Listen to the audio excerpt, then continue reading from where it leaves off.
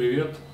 Это вторая часть видео о блюзе и о ладах, которые можно использовать в блюзе. В прошлый раз мы говорили о мажорной пентатонике, о минорной пентатонике, о блюзовой гамме. Эти три лада мы смешивали. Я напомню, что на первой ступени можно играть ля мажорную пентатонику, ля минорную пентатонику и ля блюзовую гамму. На четвертую ступень можно играть минорную, пента, э, ля минорную пентатонику, правильно? Не ре, а ля минорную. Мы вообще играем пока что, да? Ля минорную пентатонику, ля блюзовую гамму. На пятую ступень можно играть ля мажорную пентатонику, ля минорную пентатонику и блюзовую гамму. То есть, то есть точно так же, как на первую ступень. Вот. э, Сегодня мы поговорим еще несколько, о нескольких приемах, которые можно использовать при обыгрывании такого блюза. Так как это все доминантовые аккорды, да, в блюзе на каждой из трех ступеней этих используются доминантовые аккорды. Мы можем мыслить, как мыслят в джазе, при этом оставляя э, особенности блюзовой фразировки и блюзовых приемов.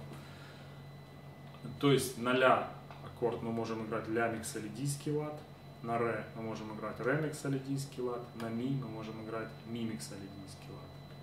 То есть семиступенный звукоряд. Звучит примерно так.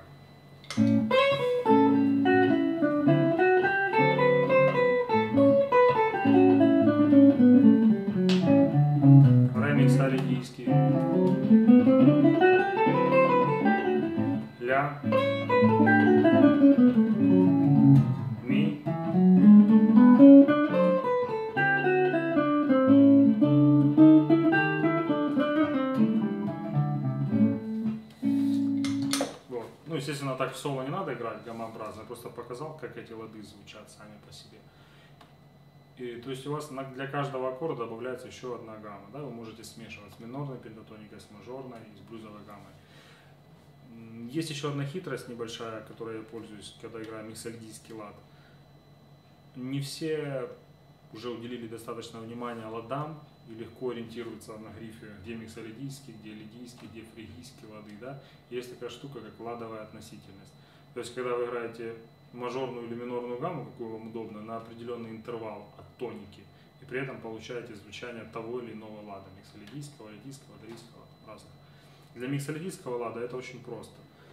То есть вы играете минорный лад, минорную гамму знают большинство гитаристов, да, натуральный минор. Играете минорный лад на тон выше.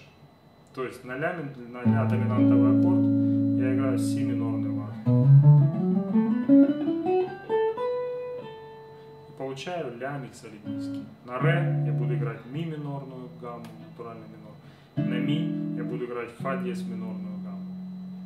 Кому-то это, возможно, поможет. Есть, если вы хорошо знаете минорный лад, очень легко видите тонику, на, на тон выше играете минорный лад, получаете миксолидийский лад. А, сейчас я сыграю и немножко см- по- посмешиваем эти лады.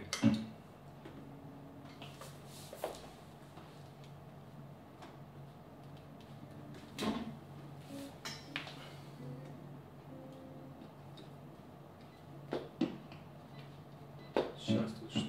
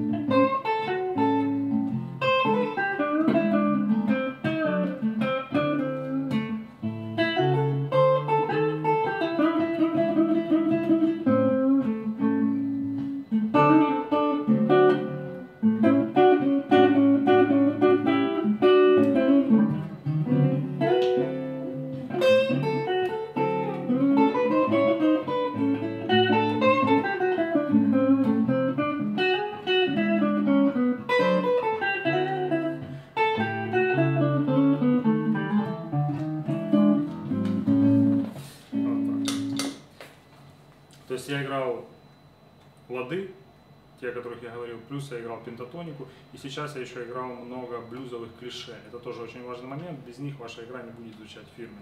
Типа... Либо... Либо... Вот эти все штуки, которые вы слышали у Стиви Рэй Война, Джимми Хендрикса, Джимми Пейджа, в общем, куча гитаристов, Биби Кинга, которые классические блюзовые, они дают такое фирменное звучание. Вот их обязательно тоже нужно добавлять в свою игру. И еще последний прикольный пример. Лада, я его увидел у Робина Форда и услышал, да, вот уже из джаза.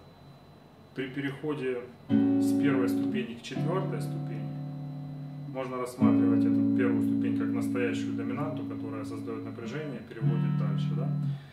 И на нее можно играть полумешенную гамму полутон-тон. То есть на ля мажор можно играть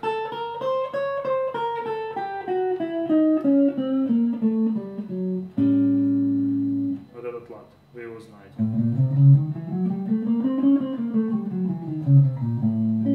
Именно в момент перехода. Я сейчас постараюсь проиллюстрировать это.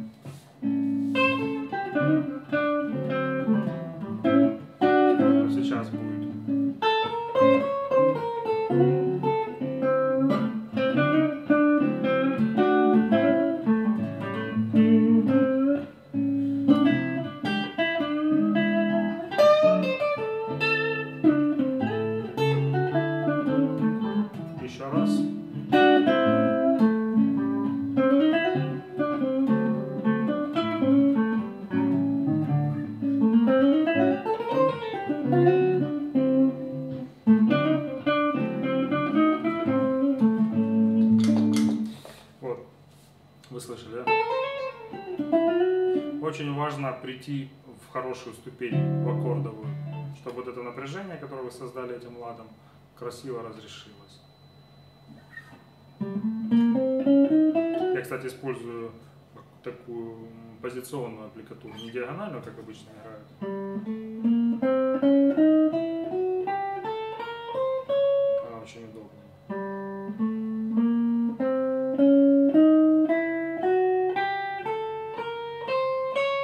Есть она предполагает, что вы сыграли какие-то настройки, да, и потом переходите в субдоминанту.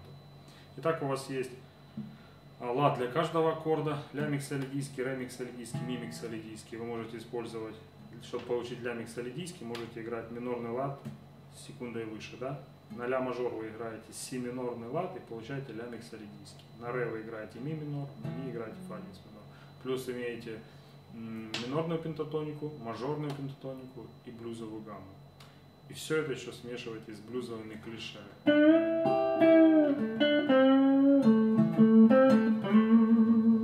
С хорошим вибрато, с хорошей фразировкой, хорошим звуком и получаете хороший блюз. Все, спасибо.